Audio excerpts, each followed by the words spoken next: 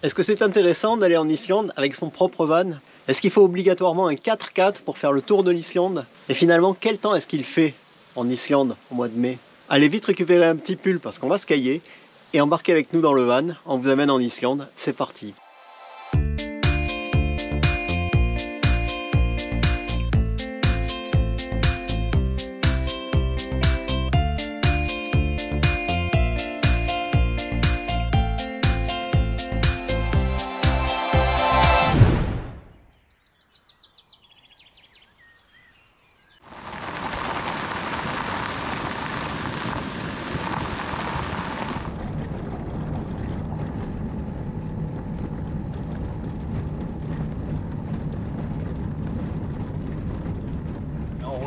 piste et on se rend compte qu'à certains endroits la piste elle coupe, euh, elle traverse des, euh, des, coulées de lave. Le paysage est absolument hallucinant.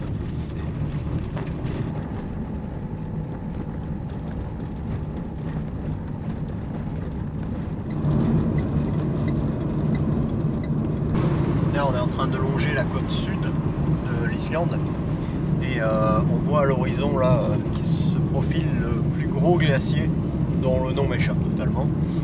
Et euh, je, mettrai je mettrai le petit nom là ici, vous amuserez à le prononcer, ce sera marrant.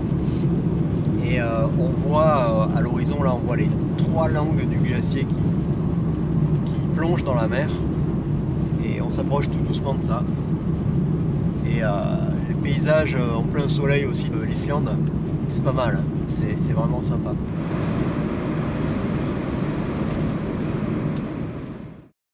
C'est dommage. Enfin, Peut-être qu'on y aille. Hein. Bon, la bagnole, la bagnole, tout ça c'est bien. Mais est-ce qu'on peut s'approcher de ce glacier là? Donc euh, ce qu'on tente là, c'est qu'on s'est garé sur un petit parking. Et normalement, il y a une, euh, une petite balade de 4-5 km. 10 10 Ouais, mais aller-retour. Ah oui, oui. Ouais, 5 allées, 5 retours. Qui te permet de, de t'approcher du glacier. Donc on va le tenter, mais il fait un froid de loup. Le vent se lève, euh, de temps en temps il y a des grosses gouttes de pluie qui tombent. Je sais pas si on va avoir le temps de finir sans se faire doucher ou sans renoncer à cause du froid. On va tenter, on verra bien.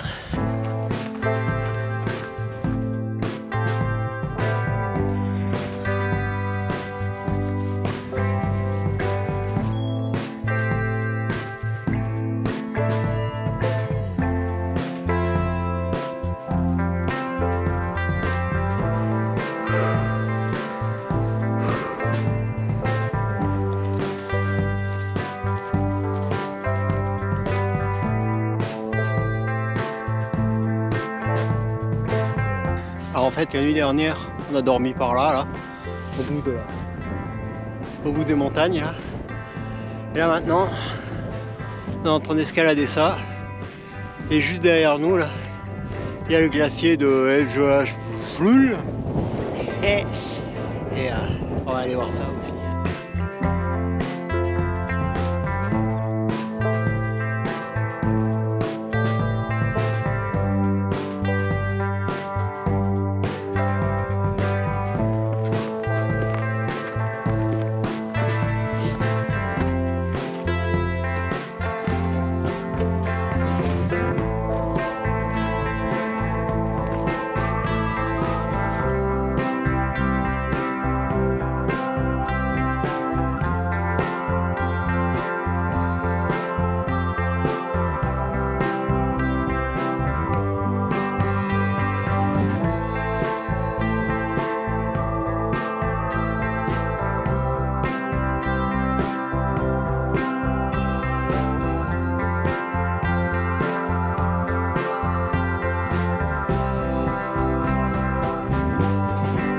Complètement fou en fait parce que on est tout seul, il n'y a personne.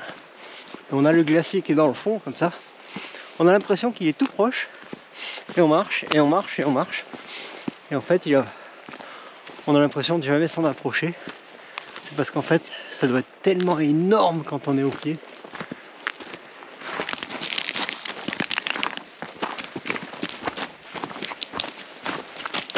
Bon, c'est dommage, le, chemin passe un petit peu loin du glacier. Alors bon, on aura envoyé le drone aller faire un tour dessus. toute façon, on n'aurait pas mis le pied dessus. C'est tellement immense. Là, on le voit de loin, comme ça, ça a l'air tout petit, ça a l'air euh, pas compliqué. Et effectivement, quand tu t'approches avec le, drone, tu te rends compte que la falaise euh, de glace, elle est, est gigantesque. Donc bon, on pourra pas s'approcher par le petit chemin de rando. Et comme il est un peu tard, on va continuer la rando. Mais euh, c'est impressionnant de voir la taille de ces falaises de glace. C'est vraiment impressionnant.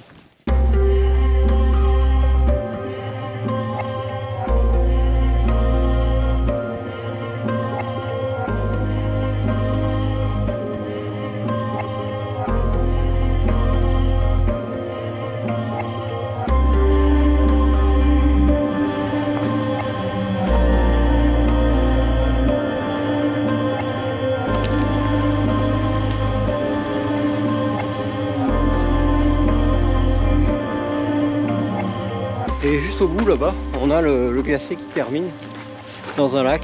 Il y a des petits icebergs qui se sont détachés. On peut les voir, on les voit bien là maintenant. Et voilà, c'est le bout du glacier euh, dont le nom est totalement imprononçable.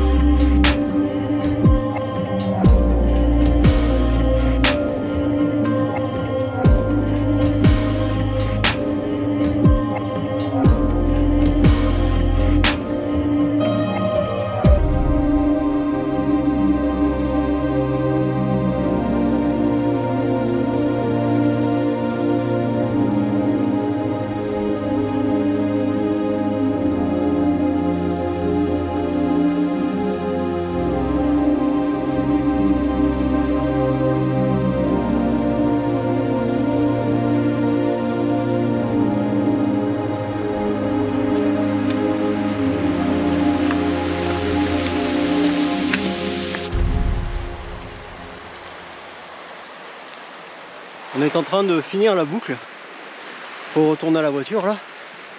Et le dernier morceau se passe dans la vallée glaciaire là. On a, on des falaises juste au-dessus de nous.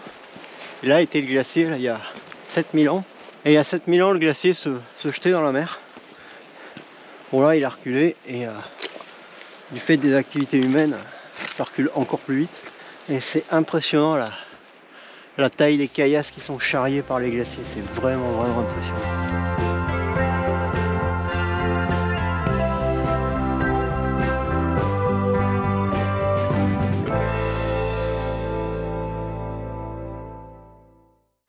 Alors le truc, c'est qu'on s'était dit, bon maintenant après la balade, euh, c'est le moment de rentrer là, euh, faut qu'on aille se trouver un camping et euh, il y avait euh, plus d'une heure de bagnole, donc on a dit on trace. Il y avait un endroit où on aurait dû s'arrêter, mais on s'est dit, on trace. Et puis quand on est passé à côté, ben, on s'est arrêté. Hein. comment tu veux faire autrement? Tu peux pas. Donc en fait en Islande c'est très difficile d'avancer parce que tu es constamment en train de, de t'arrêter pour voir des choses. Tu peux pas, tu peux pas tracer.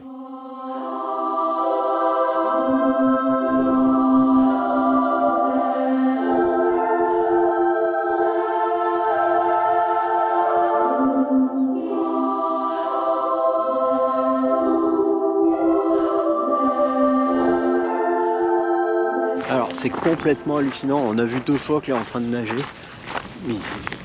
c'est ce pays, mais c'est incroyable quoi. C'est surprise sur surprise.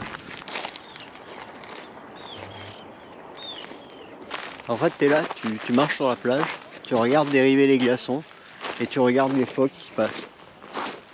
Mais, mais où tu vois ça? Nulle part. Ah oui, si, en Islande, tu vois ça.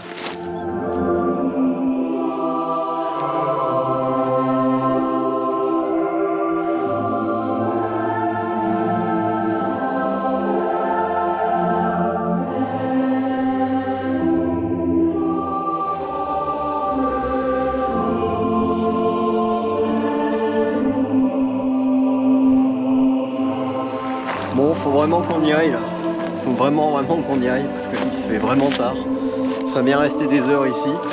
Mais bon, On y va. Je crois que l'avantage d'être venu aussi tard aussi, c'est qu'il n'y avait pas grand monde. Et c'était vraiment pas mal.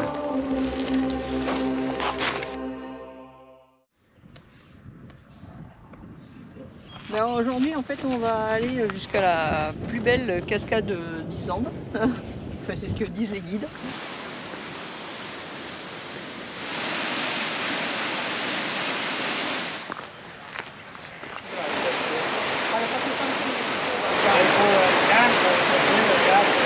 On arrive à la célèbre cascade qui s'appelle Svartifos. Et le truc particulier, c'est que les murs de la cascade sont constitués d'hexagones. Et le truc est excellent, donc c'est que ça fait des, des colonnes en forme d'hexagone noir.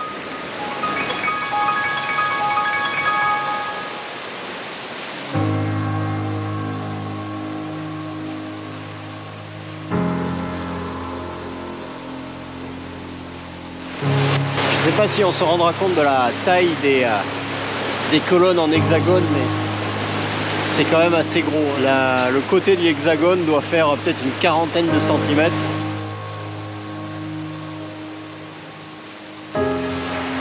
Et là, la balade continue et on marche sur des, sur des pavés qui ont été faits euh, dans ces colonnes euh, hexagonales. Et c'est vraiment énorme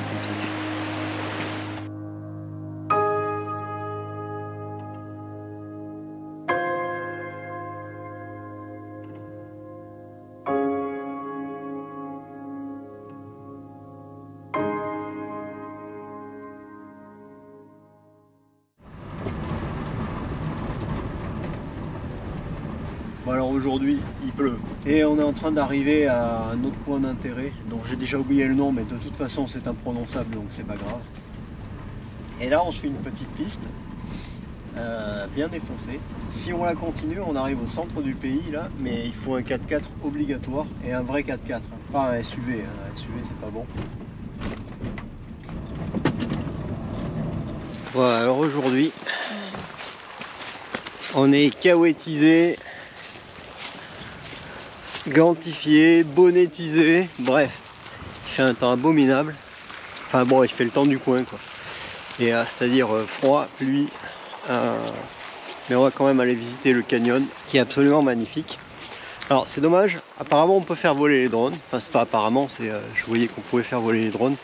Mais dans la purée qu'il y a au-dessus de nous, là, ça sert strictement à rien.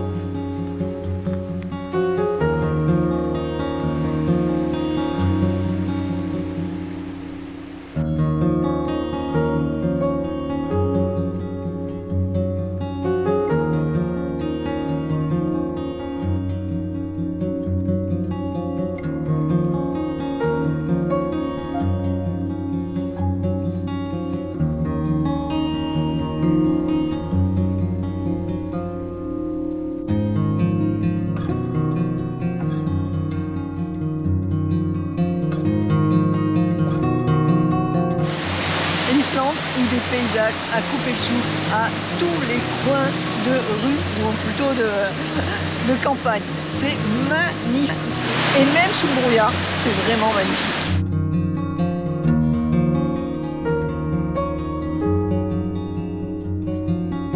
Donc là, le canyon, il fait euh, 2 km de long et euh, 100 mètres de profondeur, mine de rien. On n'a pas l'impression comme ça, mais euh, c'est quand même assez haut. Et euh, c'est vraiment très impressionnant.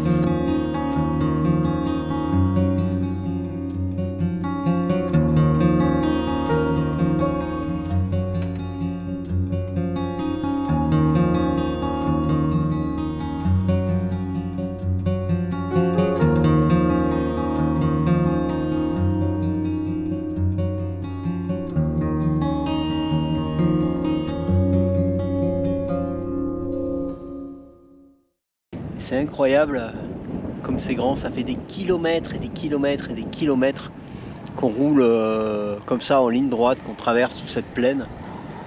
Et euh, dès que tu regardes un peu loin comme ça, c'est noir. Et là quand on regarde dans le détail là, de ce qu'il y a dans cette plaine, fait, c'est tout des cailloux, euh, c'est des roches volcaniques. Je sais pas ce que c'est exactement. C'est pas de la pierre ponce, c'est plus dense. Mais c'est c'est vraiment du, de la caillasse. Me renseignerai, je vous mettrai le nom là-dessus. là. Et donc là, en fait, on se trouve euh, vraiment dans la plaine éruptive du volcan Katla. Alors, le volcan Katla, c'est un des volcans, c'est le volcan le plus euh, dangereux de l'Islande. 14 km de large, 10 km de long. Ça, c'est pour la caldeira du volcan. Et le truc intéressant, c'est qu'il est sous une euh, calotte, sous un glacier. Et donc, quand les éruptions surviennent à peu près deux fois par siècle, et quand euh, la lave arrive euh, au contact de l'eau du glacier, ça casse des morceaux de glacier, ça fait des énormes coulées de coulées d'eau euh, et ça ravage tout. Et ici, toute la région, là, c'est vraiment la plaine où se déverse le, le volcan, le Katla. Et on va aller un peu plus loin à une petite ville qui s'appelle Vik, qui est une des rares villes qui se trouve euh, dans l'endroit, puisque c'est vraiment assez désert, là, ça fait des, heures qu'on roule et qu'on croise rien. Et tout simplement parce que bah, quand le volcan s'énerve, bah, c'est ici que ici que ça descend, c'est ici que ça dégage. Et euh, savoir que la route sur laquelle on roule, le- là en ce moment la route numéro 1, elle a été coupée en 2011 par euh, justement une coulée de flotte euh, du volcan. Allez, on va continuer la route.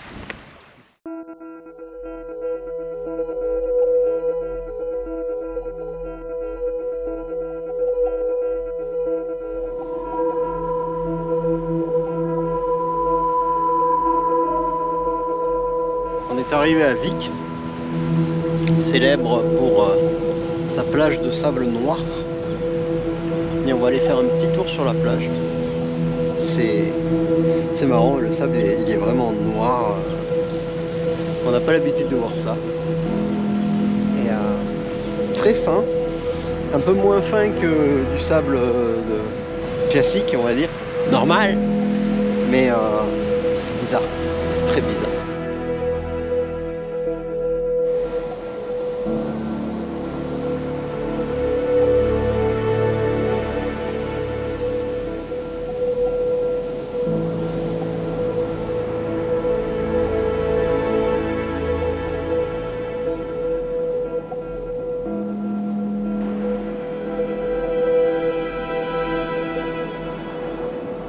Sais pas si l'été finalement les gens euh, ils viennent avec leurs serviettes euh, prendre un petit bain ici.